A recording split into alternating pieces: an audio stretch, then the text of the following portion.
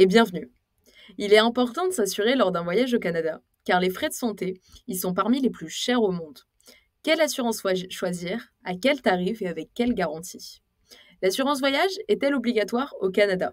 La réponse est non. L'assurance voyage n'est pas obligatoire, mais elle est fortement conseillée. Elle peut s'avérer très utile pour couvrir par exemple les frais hospitaliers, qui sont très élevés. Le coût euh, d'une journée passée à l'hôpital au Québec s'élève à plus de 1000 euros et plus de 3000 euros pour les urgences. Quels sont les points de vigilance à faire attention lors du choix de votre assurance? Choisir son assurance voyage n'est pas anodin. Prêtez attention au plafond de couverture, surtout pour les frais médicaux, qui peuvent être exorbitants.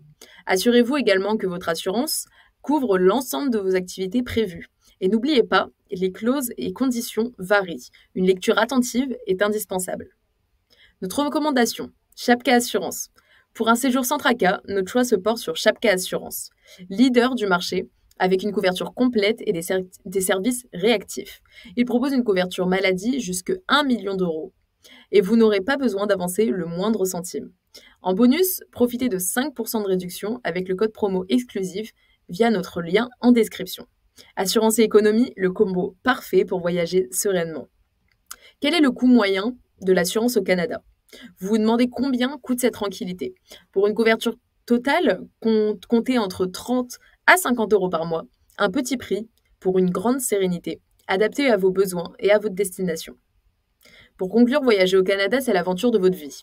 Mais n'oubliez pas, une bonne assurance, est votre meilleur compagnon de route. Pour tous les détails, rendez-vous sur guidegoyave.com. N'attendez plus et préparez votre voyage avec assurance et confiance.